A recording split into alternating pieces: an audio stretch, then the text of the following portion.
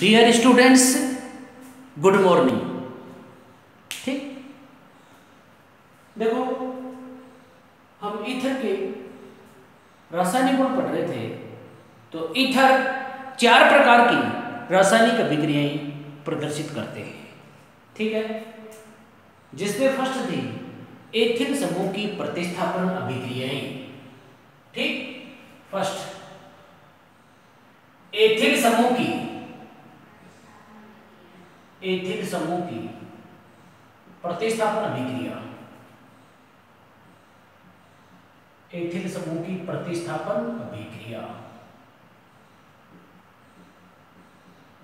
ठीक तो देखो प्रतिस्थापन कहाँ पर होगा एथिल समूह पर तो डाई एथिल आपको बताया था डाई एथिल इथर है जैसे C H three C H two O C H two C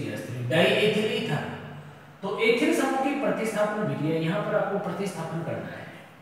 ठीक इसमें फ़र्स्ट अभिक्रिया है? हेलोजनीकरण। हेलोजनीकरण। ठीक? देखो, हेलोजन का जुड़ना ही क्या कहलाता है? हेलोजनीकरण। अब हेलोजनीकरण दो प्रकार से है, एक तो अंधेरे में और एक सूर्य के प्रकाश की उपस्थिति में तो इसमें एक करवाते हैं कौन सा अंधेरे में। अंधेरे में। ठीक? तो देखो, डाई एथिल ईथर की क्रिया Cl2 या Br2 के साथ इनडार्क अंधेरे में करवाने पर अल्फ़ा स्थिति पर हेलोजनीकरण होता है। ठीक? तो देखो, डाई एथिल ईथर के CH3 CH2 O CH2 CH3 di ethyl ether इसकी क्रिया सी एल टू के साथ इन डार्क इन डार्क, अंधेरे में कराने पर। आपको पता है ये अल्फ़ा कार्बन, ये बीटा, ये अल्फ़ा और ये बीटा। यहाँ पर H उपस्थित है, ये अल्फ़ा कार्बन। ठीक है? अल्फ़ा कार्बन पर हेलोजनीकरण होगा तो आपको पता है H यहाँ से, Cl यहाँ से क्या बाहर निकल जाएगा? माइनस Cl और यहाँ पर Cl जोड़ दो अल्फ़ा स्थिति पर। तो CH3 CH3 CH यहाँ पर क्या जुड़ जाएगा? Cl और O C H O CH2 CH3 ठीक? आपको बताया था, कोई भी क्रियात्मक समूह जिस कार्बन पर जुड़ा रहता है, उसे अल्फ़ा कार्बन कहते हैं। तो ये अल्फ़ा कार्बन हो गया अल्फ़ा क्लोरो ईथर इसका नाम है alpha chloro alpha chloro di ethyl ether alpha ethyl ether ठीक? अब देखो। इसकी क्रिया फिर सी एल टू के साथ करा। प्लस Cl2 इन डार्क अंधेरे में। देखो, ये भी अल्फ़ा कार्बन है तो इसको अल्फ़ा डैश बोलते हैं। अब आपको पता है, फिर सी एच टू है, जैसे इसको हम ऐसे लिख दें CH2 CH3 ठीक? तो फिर एच यहाँ से सी एल यहाँ से फिर क्या बाहर निकल जाएगा? एस सी एल तो CH3 ओ सी एच सी Cl और यहाँ पर CH3 और प्लस HCl ठीक है, ये अल्फ़ा कार्बन, ये अल्फ़ा डैश कार्बन। तो alpha alpha dash di chloro di ethyl ether तो alpha alpha dash di chloro di ethyl ether alpha alpha dash di chloro di ethyl ether ठीक? तो देखो di ethyl ether की क्रिया di ethyl ether di ethyl ether की क्रिया। Di ethyl ether की क्रिया। Cl2 के साथ। अंधेरे में कराने पर अंधेरे में कराने पर ठीक? डाई एथिल ईथर की क्रिया Cl2 के साथ अंधेरे में कराने पर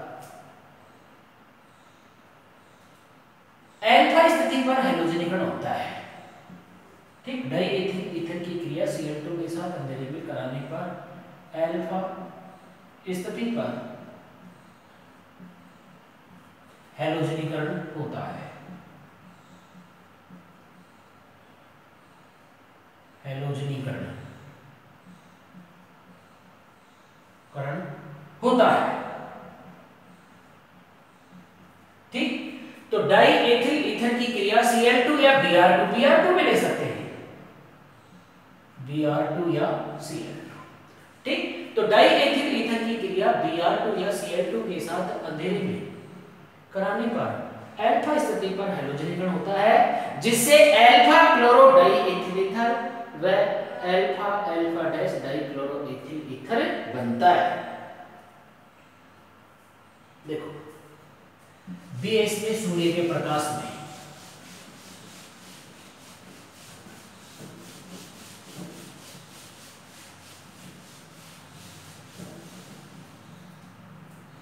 भी सूर्य के प्रकाश में। तो देखो, भी सूर्य के प्रकाश में, ठीक? देखो डाइएथिल ईथर की क्रिया Cl2 के साथ सूर्य के प्रकाश की उपस्थिति में कराने पर परक्लोरो डाइएथिल ईथर बनता है। डाइएथिल ईथर के सभी हाइड्रोजन हेलोजन द्वारा प्रतिस्थापित हो जाते हैं। ठीक? तो देखो diethyl ether CH3 CH2O CH2 CH3 diethyl ether diethyl ether इसकी क्रिया प्लस Cl2 के साथ करा दो सूर्य के प्रकाश में इन प्रेजेंस ऑफ़ सनलाइट ठीक? तो देखो, सभी हाइड्रोजन हाइड्रोजन द्वारा प्रतिस्थापित हो जाते हैं। क्योंकि प्रबल स्थिति है सनलाइट है, पहले अंधेरे में था तो अल्फ़ा पोजीशन पर ही हेलोजनीकरण हुआ था। सनलाइट है एनर्जी ज़्यादा है तो प्रतिस्थापन अधिक होगा, और डाइएथिल ईथर के सभी हाइड्रोजन Cl द्वारा प्रतिस्थापित हो जाते हैं। तो CCl3 CCl3 CCl2 CCl2 O, फिर क्या? CCl2 और CCl3 और प्लस H यहाँ से सी एल यहाँ से क्या बात हो जाएगा? HCl एस हाइड्रोजन तीन दो पाँच दो सात और तीन दस है तो टेन एस सी और सी एल कितने हो गए? तीन दो पाँच दो सात तीन दस? यहाँ दस लगा। है ना? तो सी एल बीस, तीन दो पाँच दो सात तीन दस दस और दस बीस। और ये क्या बना? Per chloro di ethyl ether per chloro di ethyl ether per chloro di ethyl ether ठीक? तो देखो डाई एथिल ईथर की क्रिया Cl2 के साथ सूर्य के प्रकाश की उपस्थिति में कराने पर क्लोरो डाई एथिल ईथर बनता है। डाई एथिल ईथर की क्रिया Cl2 के साथ की क्रिया Cl2 के साथ। सूर्य के प्रकाश की उपस्थिति में, सूर्य के प्रकाश की उपस्थिति में कराने पर, ठीक, डाई एथिल ईथर की क्रिया Cl2 के साथ सूर्य के प्रकाश की उपस्थिति में कराने पर पर क्लोरो पर क्लोरो डाई एथिल ईथर बनता है। ठीक? तो डाई एथिल ईथर की क्रिया Cl2 के साथ सूर्य के प्रकाश की उपस्थिति में कराने पर पर क्लोरो डाई एथिल ईथर बनता है। तो दूसरी अभिक्रिया है इसमें। ऑक्सीजन पर उपस्थित इलेक्ट्रॉन युगम के कारण अभिक्रिया है नंबर दो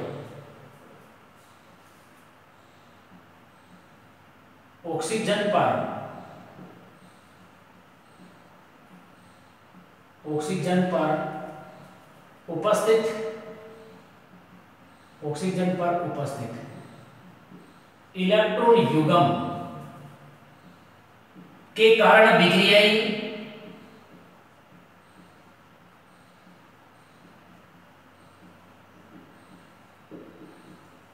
ठीक ऑक्सीजन पर उपस्थित इलेक्ट्रॉन युगम के कारण अभिक्रियाएँ तो देखो, आपको पता है ईथर में ऑक्सीजन पर दो लोन पेयर ऑफ़ इलेक्ट्रॉन उपस्थित होते हैं।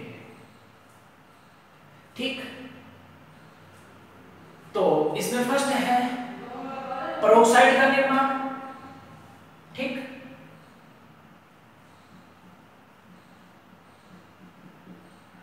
परोक्साइड का निर्माण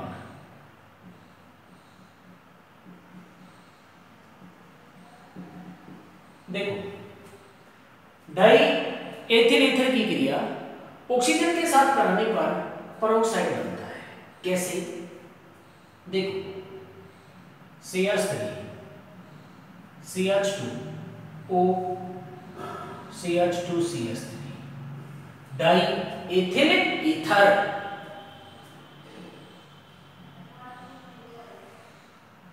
di ethyl ether di ether है। ठीक। इसकी क्रिया ऑक्सीजन के साथ करा दो। तो देखो, हाफ़ O2 लगा दो। ऑक्सीजन पर यहाँ पर एक, दो, तीन, चार, पाँच, छह। दो नॉन पेयर ऑफ़ इलेक्ट्रॉन उपस्थित है। ठीक है? तो देखो कि CH3 CH2 सी CH2 CH3 ठीक? ये ऑक्सीजन परमाणु है। ऑक्सीजन के बाह्यतम कोष में कितने इलेक्ट्रॉन होते हैं? छह। एक, दो, तीन, चार, पाँच, छह। अब देखो। ये दो इलेक्ट्रॉन उपसहसंयोजक बंध के रूप में इसको डोनेट कर देगा। क्योंकि दो दो चार दो छह अष्टकोण नहीं है तो ये दो इलेक्ट्रॉन इसको दे देगा उपसह संयोजक बंध के रूप में। ठीक? तो दो दो चार, दो छह, दो आठ, दो दो चार, दो छह और दो आठ। अष्टकोण है। तो डाई इथिल ईथर परोक्साइड बन जाएगा। डाई इथिल ईथर परोक्साइड ठीक? तो डाई एथिल ईथर की क्रिया ऑक्सीजन के साथ कराने पर डाई एथिल ईथर परोक्साइड बनता है। ठीक है? डाई एथिल ईथर की क्रिया डाई एथिल ईथर की क्रिया ऑक्सीजन के साथ कराने पर ऑक्सीजन के साथ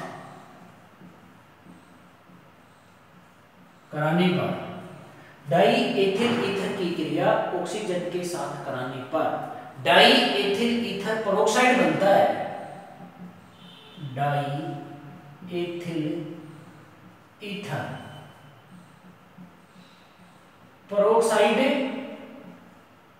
बनता है। डाई एथिल ईथर परोक्साइड बनता है। ठीक? तो डाई एथिल ईथर की क्रिया ऑक्सीजन के साथ कराने पर। ठीक? डाई एथिल ईथर की क्रिया ऑक्सीजन के साथ कराने पर डाई एथिल ईथर परोक्साइड बनता है।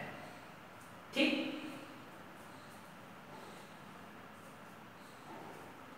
देखो, यदि डाई एथिल ईथर को लंबे समय तक ऑक्सीजन के संपर्क में रखा जाए तो निम्न उत्पाद बनता है। ठीक है? यदि डाई एथिल ईथर को ऑक्सीजन के साथ लंबे समय तक संपर्क में रखा जाए तो वन एथोक्सी एथिल हाइड्रोप्रोक्साइड बनता है। निम्न उत्पाद बनता है जो विस्फोटक प्रवृत्ति का होता है। ठीक? तो देखो, di ethyl ether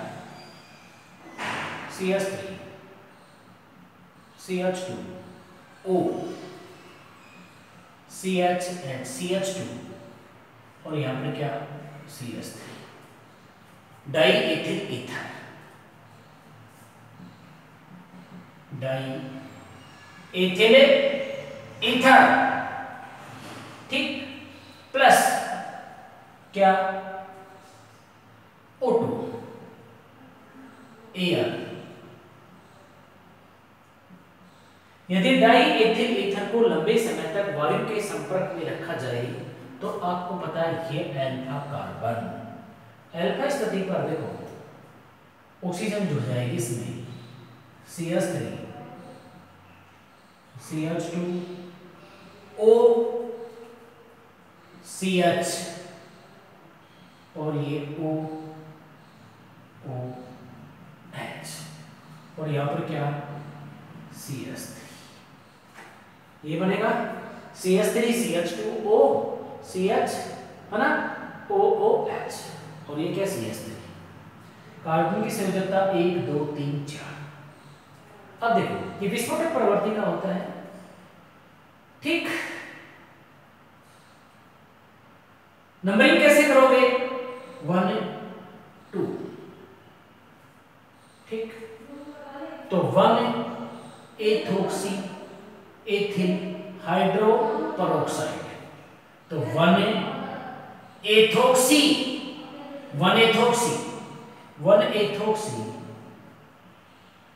ethyl one ethoxy ethyl hydroperoxide.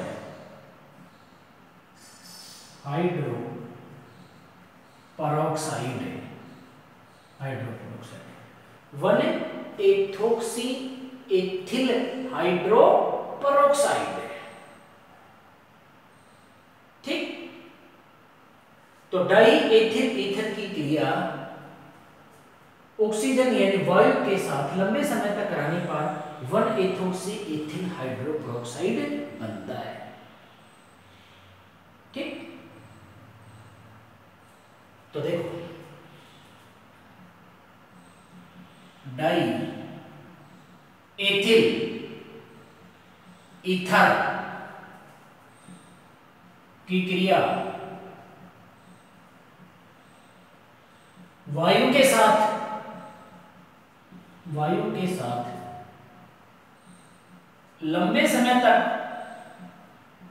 लंबे समय तक, कराने पर, डाई एथिल ईथर की क्रिया वायु के साथ लंबे समय तक कराने पर वन एथोक्सी,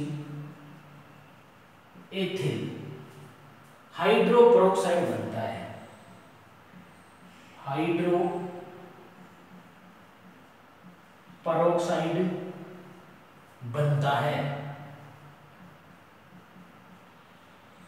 बनता है ठीक तो डाई एथिल ईथर की क्रिया वायु के साथ लंबे समय तक रहने पर वन एथोक्सी एथिल हाइड्रोपरोक्साइड बनता है, जो विस्फोटक प्रकृति का होता है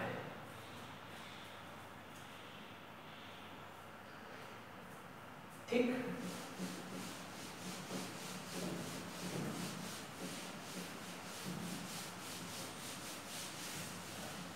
बेस में ऑक्सोनियम लवणों का निर्माण है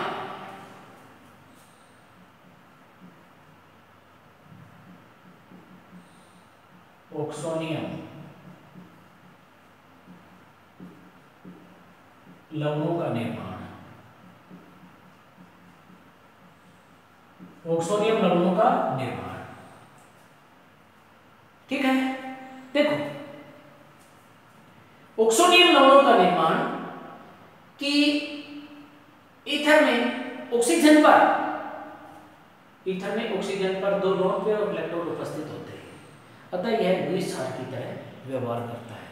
तथा अम्लों से क्रिया कर ओक्सोनियम लवण बनाता है। ठीक? कैसे? C H three C H two O C H two C H three two lone pair of electron di ethyl ether ठीक?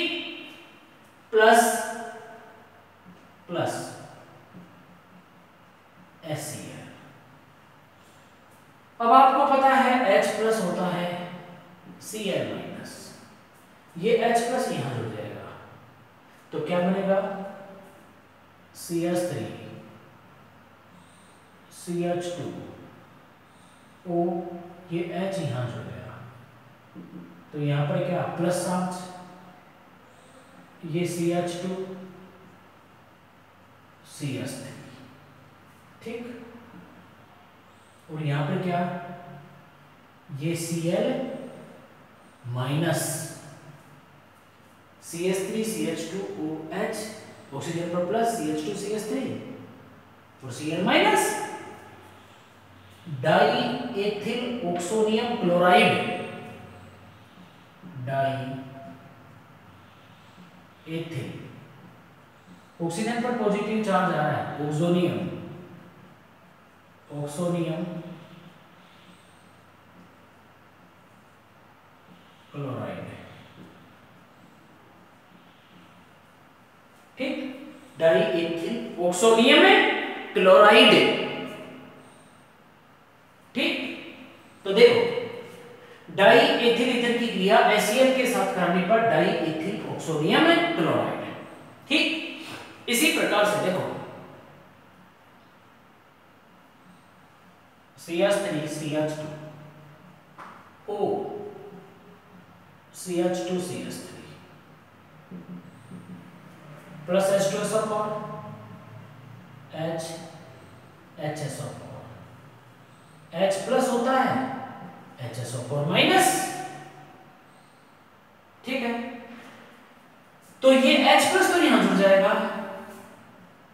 CH3 CH2 ओ एच यहाँ पर प्लस चार्ज और C H two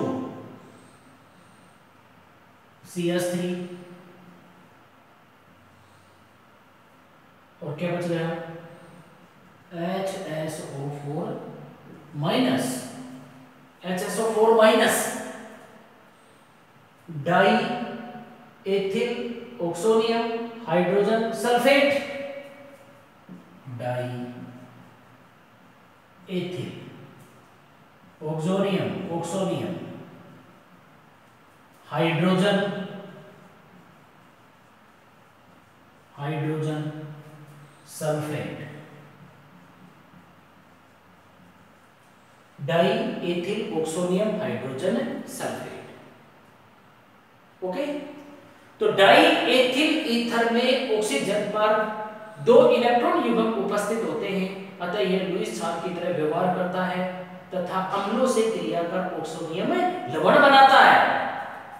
ठीक?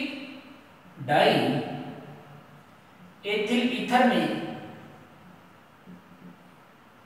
ऑक्सीजन पर ether में oxygen पर। Di ether में oxygen पर। दो लोन पेयर ऑफ़ इलेक्ट्रॉन्स दो लोन पेयर ऑफ़ इलेक्ट्रॉन्स उपस्थित होते हैं। डाई एथिल ईथर में ऑक्सीजन पर दो नॉन पेयर ऑफ़ इलेक्ट्रॉन्स उपस्थित होते हैं। अतः यह अतः यह। लुइस अतः यह लुइस छारो की तरह व्यवहार करता है। अतः यह लुइस छारो की तरह व्यवहार करता है। तथा तथा, अम्लों से क्रिया कर तथा अम्लों से क्रिया कर ऑक्सोनियम लवण बनाता है। ऑक्सोनियम लवण बनाता है। ठीक?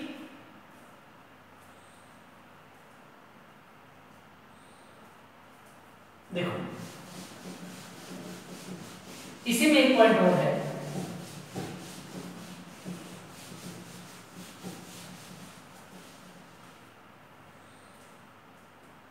देखो डाई एथिल ईथर इलेक्ट्रॉन न्यून यौगिकों के साथ लुइस हार की तरह व्यवहार करता है। तो ईथर लुइस हार तो एक प्रकार से लुइस अम्लों से क्रिया कर लवण बनाता है। कैसे? डाई एथिल ईथर है C H three C H two O C H two C H three di ethyl ether इसकी क्रिया? बी एफ़ थ्री के साथ करा दो।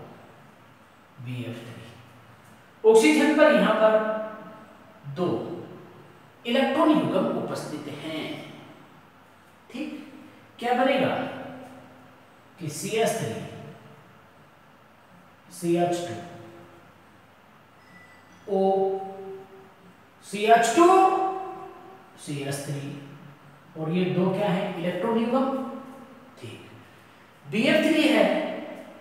बी एफ़ एफ़ एफ़ देखो, दो दो चार, दो छह, दो आठ, इसका स्टेप पूर्ण है। तथा ऑक्सीजन पर दो इलेक्ट्रॉन युग्म उपस्थित हैं। यहाँ पर दो दो चार, दो छह। अष्टक इनकम्प्लीट है। इलेक्ट्रॉन न्यून यौगिक है। तो ये तो लुइस अमल की तरह और ये लुइस क्षार की तरह है। तो ये दो इलेक्ट्रॉन उपसंयोजक बंध के रूप में इसको डोमिनेट कर देगा।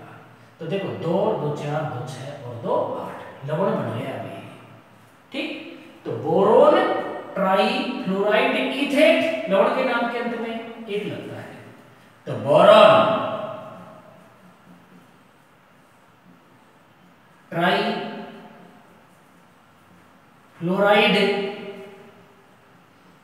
बोरॉन ट्राइफ्लोराइड इथेट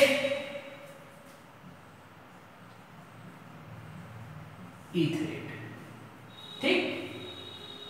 तो डाई एथिल ईथर की क्रिया डाई एथिल ईथर ठीक? डाई एथिल ईथर में ऑक्सीजन पर।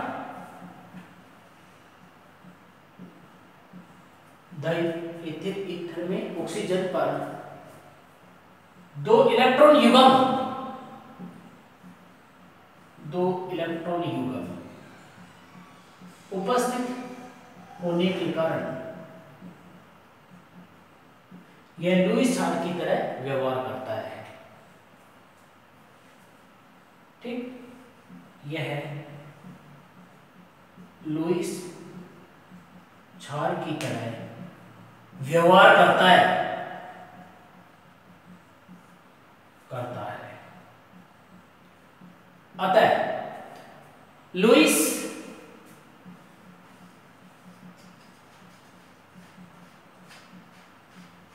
अम्लों से क्रिया कर,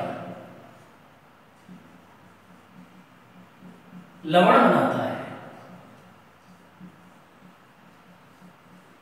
लवण बनाता है ठीक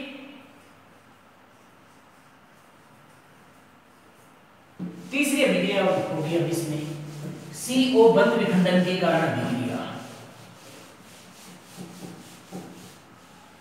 ठीक है? तीसरी अभिक्रिया इसमें सीओ बंद विखंडन के कारण अभिक्रिया बंद विखंडन के कारण अभिक्रिया अब देखो बॉन्ड कहाँ से ब्रेक होगा? कार्बन ऑक्सीजन के मध्य से। ठीक है? CO बंद विखंडन के कारण अब आपको पता है जैसे CH3 CH2 O CH2 CH3 ये डाई इथिल ईथर है। तो इसमें बॉन्ड कहाँ से ब्रेक होगा? कार्बन ऑक्सीजन के मध्य से, यहाँ से। तो CO बंद विखंडन के कारण बिखर रहे हैं। ओके